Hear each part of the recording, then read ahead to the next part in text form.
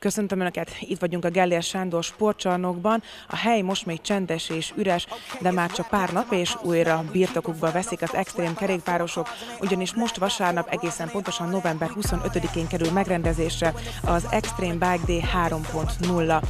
Az esemény szervezője ezúttal is Vig Tamás, aki itt áll mellettem. Szia Tomi! Gondolom már látosan zajlanak az előkészületek gyakorlatilag hónapok óta erre a rendezvényre. Mi mindennel várjátok a rendezvényre kilátogatókat a harmadik Extreme Bike Day-n? Először is sziasztok! Igen, a szervezés már több mint három hónapja elkezdődött.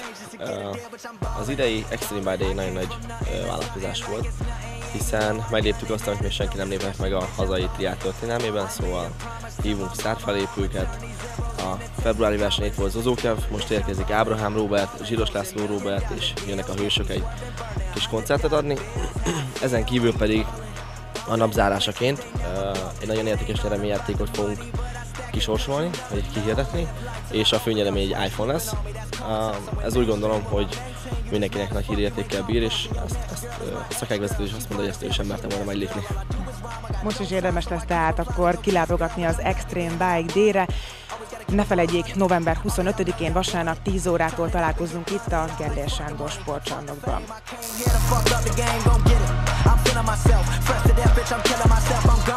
We burning it up, step in the building, we turning it up. Talking that shit, but they never admit when I said to the mic, I be murdering it and we living. Real good, mainstream, but it's still good. I got raw shit, I got real shit, but right now it's time for that feel good.